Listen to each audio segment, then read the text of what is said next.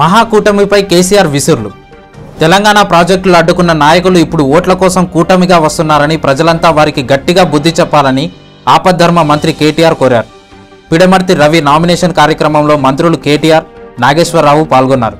ఈ సందర్భంగా నిర్వహించిన ఎన్నికల ప్రచార సభలో మంత్రి కేటీఆర్ మాట్లాడుతూ అవకాశవాదులు పొత్తులు అవకాశవాద రాజకీయాలు తెలంగాణపై పట్టు కోసం పోటీ పడుతున్నాయన్నారు.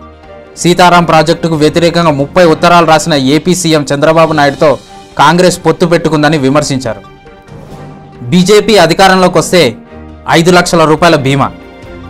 రాష్ట్రంలో అందరికీ ఐదు లక్షల బీమా పథకాన్ని అమలు చేయనీయకుండా సీఎం కేసీఆర్ అడ్డుకున్నారని జరగబోయే ఎన్నికల్లో బీజేపీ అధికారంలోకి వస్తే అందరికీ బీమా పథకాన్ని అమలు పరుస్తామని మాజీ మంత్రి అందోలు బీజేపీ అభ్యర్థి బాబుమోహన్ అన్నారు.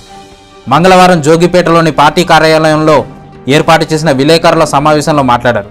బీజేపీ ప్రభుత్వం అధికారంలోకి వచ్చినట్లయితే కళ్యాణ లక్ష్మి పథకం ద్వారా చెల్లించే లక్షల రూపాయలతో పాటు మంగళ సూత్రానికి తులం బంగారం అందజేస్తామన్నారు. మోదీపై నారాయణమూర్తి కీలక వ్యాఖ్యలు. ఇన్ఫోసిస్ కోఫౌండర్ నారాయణమూర్తి సంచలన వ్యాఖ్యలు చేశారు. ఎకనామిక్స్ టైమ్స్కు ఇచ్చిన ఒక ప్రత్యేక ఇంటర్వ్యూలో ఆయన పలు అంశాలపై స్పందించారు. ముఖ్యంగా ప్రధానమంత్రి నరేంద్ర మోదీపై ప్రశంసల జల్లు కురిపించారు. ఆయన మరోసారి అధికార పగ్గాలు చేపట్టడం మంచిదని పేర్కొన్నారు. దేశ అభివృద్ధి పట్ల ఆసక్తి ఉన్న జాతీయ నాయకుడిగా మోదీకి మనం కృతజ్ఞతలై ఉండాలి.